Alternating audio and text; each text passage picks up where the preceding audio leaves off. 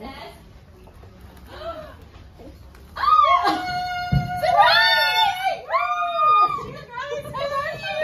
you? Good. Come on in. Good morning. How is everybody? Good morning. Good. Need some excitement in here. Come Good morning.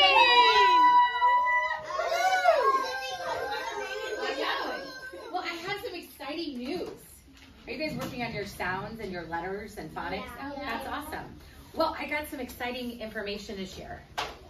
So I actually work for the Forest Hills Foundation, and we raise money for all of you, so all the kids in this room and all the kids across the whole district.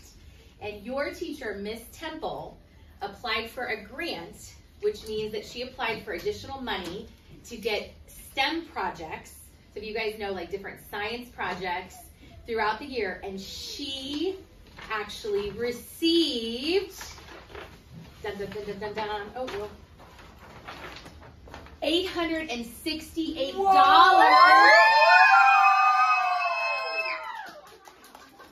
to have more STEM, STEM projects for you all and all the first graders here at Mercer because we know how important that is and you'll get to do different projects like four times a month. So congratulations, Ms. Temple. Thank you. And we're excited to be able to support all the great work that you guys are going to be able to do with STEM.